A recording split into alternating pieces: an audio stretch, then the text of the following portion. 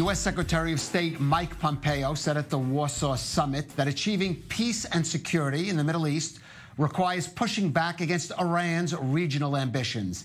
He specifically cited Yemen, where Iran is supporting Houthi rebels, as one of the places where this has to be done.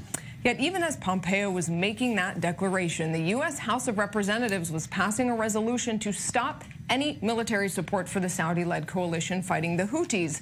And that is a sharp rebuke to the Trump administration's policy in Yemen. Our Washington correspondent Shayna Estulin joining us from there. Shayna, we see this great divide. You have on one hand Pompeo really touting U.S. policy. On the other hand, Congress is saying enough is enough. Does it look like this is going to pass the Senate, first of all? What's the next hurdle? Well, let's talk about what happened last night. This resolution passed the House, mostly along party lines, although 18 Republicans did vote for it. So now it's expected to head to the Senate in a couple of weeks. And here's what's interesting, Nurit. The Senate, which is led by Republicans, a couple months ago passed a similar resolution because Republicans in the Senate were so upset about the murder of Jamal Khashoggi, the Saudi behavior, the cover-up, the White House response. And so this resolution is likely to pass the Senate as well. But the White House, the White House has already threatened to veto it. Despite the very likely presidential veto, lawmakers say this sends a clear message about how they feel. And it also is very clear that there is a brewing showdown between Capitol Hill and the White House over America's relationship to the Saudis. Uh, clearly, a lot of factors are, are, are uh, playing a part in this uh, uh, chain. The U.S. withdrawal from Syria and yet staying in Yemen, and perhaps also the blowback over the murder of Jamal Khashoggi.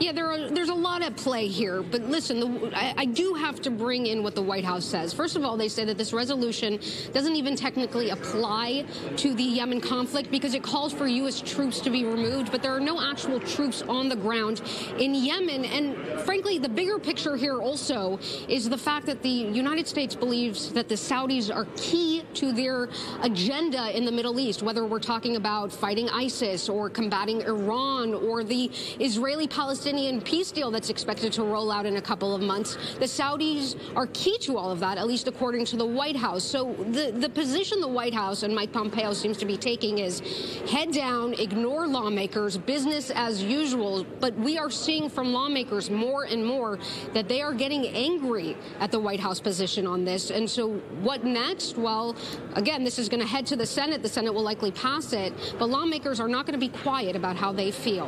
Right. And this is all in a country country, Yemen, that is dealing with thousands of deaths from this three-year plus war and, of course, a, a massive uh, famine. Uh, Shayna Estulin in Washington, thanks very much for that. I want to take some of those issues that Shayna just raised and put some questions to Dr. Fadi Esmaeel. He's joining us here in studio, former senior congressional staffer and a research fellow at the International Institute for Counterterror. Also with us, Henry Rome. He's an analyst on Iran and Israel at the Eurasia Group. Uh, Henry, let me just start with you. Uh, when you when you hear uh, what Shayna just said, that essentially the White House policy seems to be keep your head down. We need Saudi Arabia on our side. We're going to continue that policy no matter what it takes. Uh, your take on, on that approach?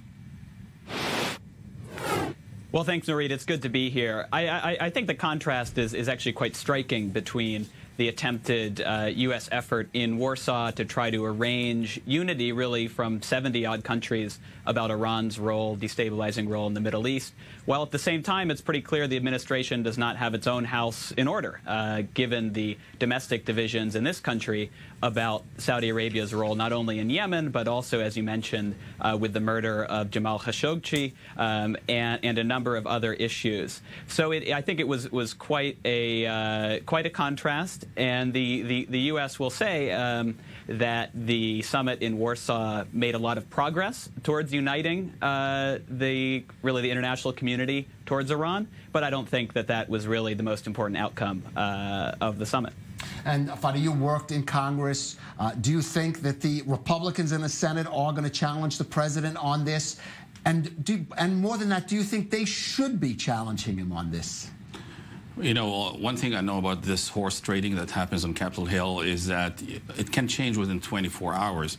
Uh, it is clear that uh, the whole uh, the vote that happened some time ago in the Senate and currently in the House has nothing to do with Jamal Khashoggi, nothing at all. In the same exact week when he was murdered, there were several uh, peace activists, peace and human rights activists murdered in Iran in much worse ways, and nobody even knows about it. But the U.S. So is not giving aid to Iran. Yeah, nah, that's it. No, well, we're, we're actually, there.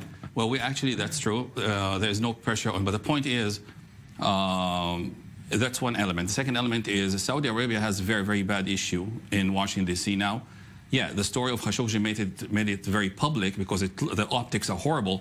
But for the, about four years, uh, Saudi Arabia has been in the doghouse, like we say, ever since they try, started fighting the JCP, uh, JCPOA in, in 2015 and uh, which was the flagship for the administration at the, at the time. And since then, there are um, there are some scores to settle with it. Uh, yeah, some Republicans will go against the president because of issues that have nothing to do at all, either with Yemen, nor with Saudi Arabia, nor with Iran. It's There not issues the that have- cholera, it's not the famine, it's not the death toll that's bothering there is cholera in you're saying. Africa. There's cholera in, uh, in everywhere in the world. But again, all of a sudden, the, everybody's the, sensitive the about it. U.S. aid to Saudi Arabia in that war. By the way, I'm in favor. I'm in favor. I'm one of the people who are in favor of bringing those kinds of considerations into policy. I'm actually in minority in that way.